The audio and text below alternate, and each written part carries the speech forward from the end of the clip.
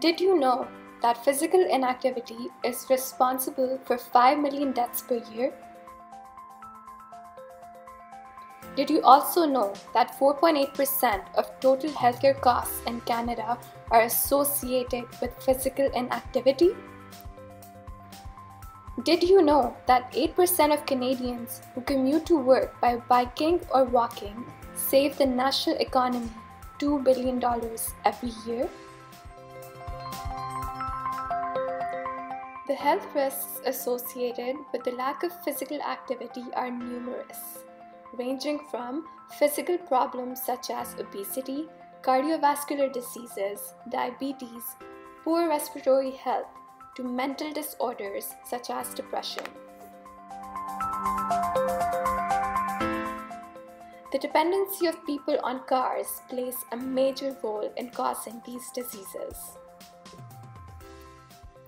It is not only car users who are at risk, but also pedestrians and cyclists exposed to pollutants released from cars on the road.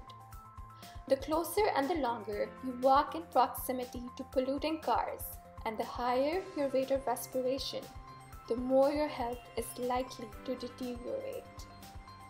Some of the pollutants you are exposed to include ultrafine particles, nitrogen oxides, sulfur dioxide, and toxic hydrocarbons.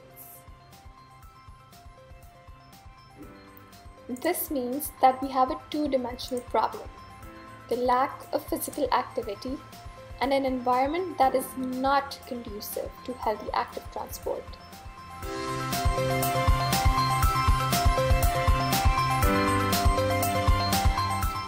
In the past two and a half minutes of this video, 28 people have died because of air pollution.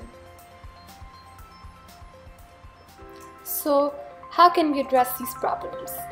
As a citizen of Montreal, there's a lot you can do. You can choose to walk or bike, whether to school or to work, instead of taking a car. If you want, you can take public transport also, but walking or biking are even better. It is a known fact that walking for 45 minutes a day or cycling for at least 25 minutes per day can save you from the leading causes of death by cardiovascular disease. It is also a known fact that if all Canadians engaged in physical activity for at least 60 minutes per day, 20% of deaths related to type 2 diabetes and 20% of deaths related to hypertension could be avoided.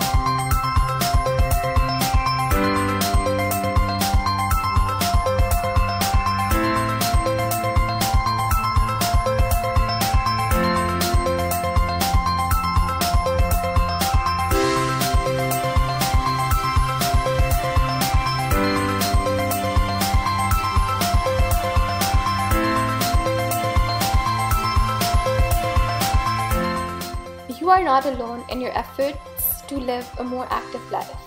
The City of Montreal can help make your environment more active friendly. It can, for example, create a well connected network of low traffic streets for biking and walking. Close off some streets completely for pedestrians and cyclists.